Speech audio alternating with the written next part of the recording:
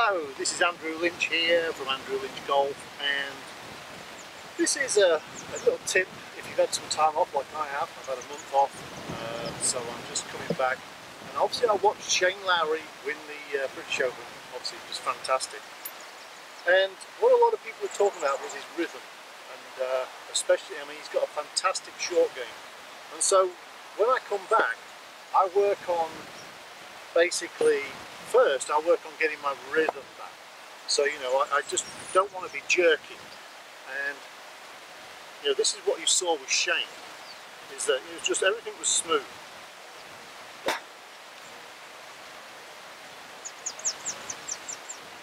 That's a lovely shot. And so with that 55 yard shot there that I'm doing, with the uh, 56 uh, Ping XG, I'm just working on getting my rhythm.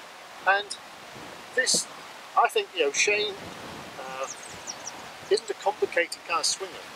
And he's very much, I think, in the mould of Ernest Jones, Manuel de la Torre. He doesn't overcomplicate it, but you see some beautiful rhythm. So get some rhythm, you know.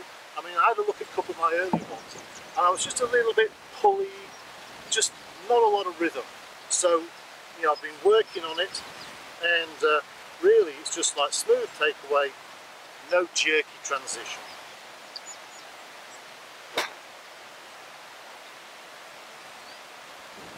Perfect this time. So really again, this isn't a complicated tip.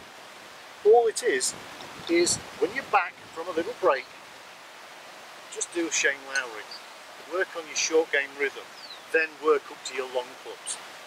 And you will find your game. It's not rocket science, it's not complicated.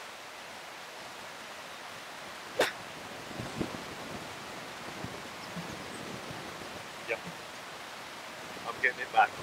So, with this is a tip really from me being away for a month, watching Shane Lowry and hearing people go on about his lovely rhythm when he's using the short game. So if you want to have a good short game, which will then become, in, let's face it, a short swing is just a short version of a full swing. So uh, I've never seen an elegant driver and a terrible short game player.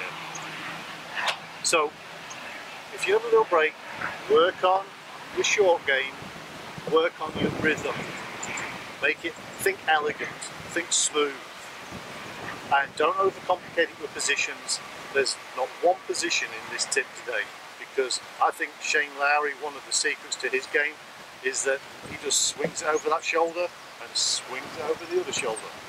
Uh, and uh, interestingly enough as well, in his full swings, he's a little bit across the line, which is just like Manuel de la Torre is, uh, if you watch his swings.